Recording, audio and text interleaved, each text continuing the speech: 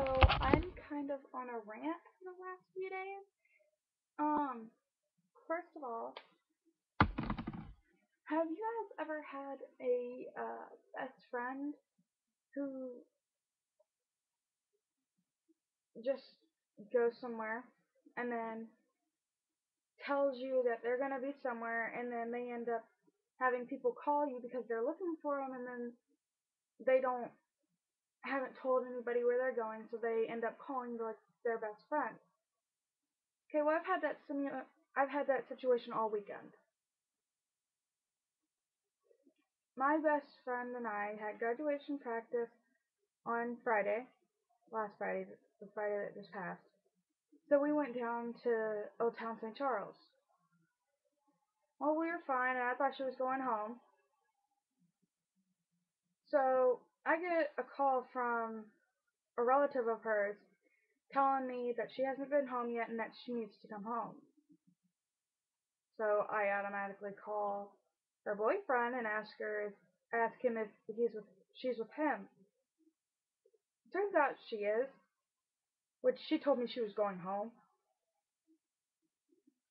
So I was like, okay, I'm not gonna get real pissy over it. I'm just gonna let it go. The next day, I get a call from another one, her same rel- the relative that called me before, asking where she is. It's like eight o'clock at night, and I haven't seen her. So I text her boyfriend. He's not answering me. I text one of our other friends, and she answered and said that she was at the hospital. So I was like, okay. So today she didn't talk to me. And I was like, okay. You're mad at me, fine. I don't know what you're mad at me about, but okay.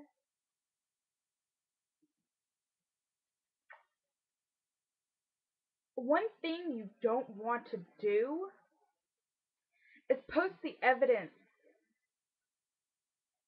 that you weren't really at a hospital or you weren't with somebody that I don't like.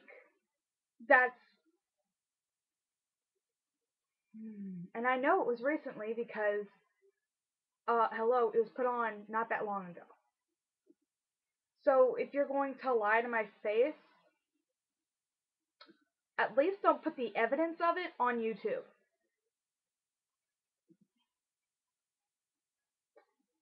So you guys know that I go to anime conventions, and you know that my friends go to anime conventions with me.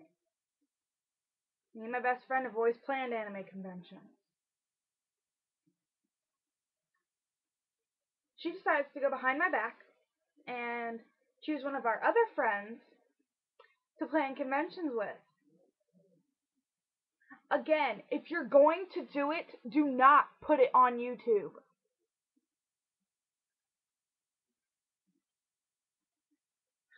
I think that's one of the dumbest things that you could ever do. Is say that you haven't done something, record it, and then put it on frickin' YouTube when I'm subscribed to your channels and I get everything that you put up. Why would you do that? Why? I mean, that's not that complicated to get wrapped around your brain. If you're going to do something and you don't want to tell somebody, don't put it on YouTube where everybody can see it, especially that person.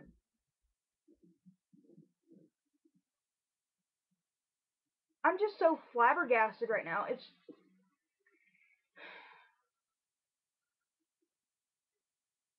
plus if you're not going to talk to me during the whole day, at least don't have a headphone out at my side like the way that I'm talking to you because then I know you can hear me. You just don't want to respond.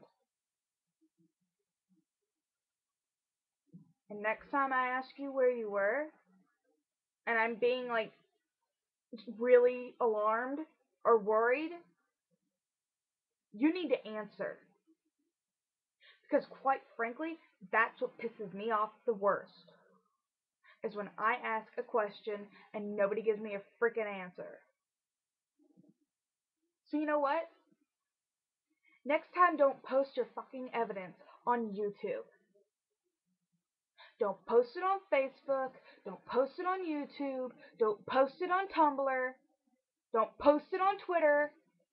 Because I'm on all of those. At least if you want to keep it a secret, put it on a website that I'm not on. I mean, Jesus. You act like nobody can see it. You act like I can't see it. But when you put it up and you subscribed me to your channel by logging into my YouTube, that's not okay. I don't care what you do on the weekends as long as you tell me the truth. I thought we were best friends. But apparently, every time I try and be best friends with you, you end up going behind my back. And it, quite frankly, it's pissing me off. Because I thought after we had that one situation, we would be fine. But no. And you may think I'm being overdramatic. Are you serious? When you were mad at me, you didn't talk to me for like three days. And I put up with it because I was your best friend.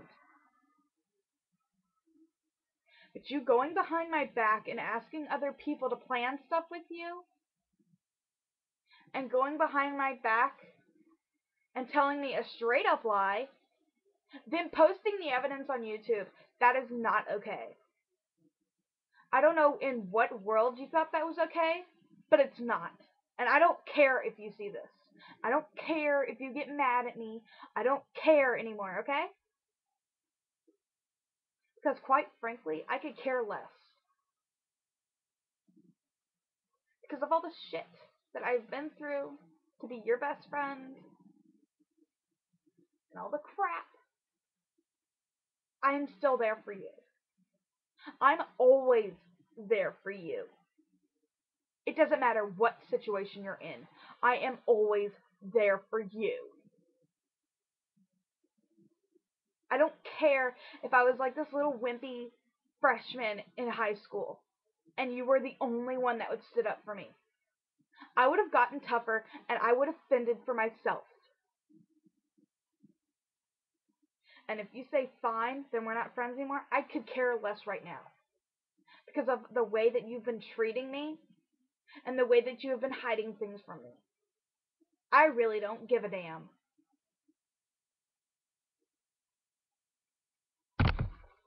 So if you have anything to say, you better say it to my face. Because I'm sick and tired of this bullshit.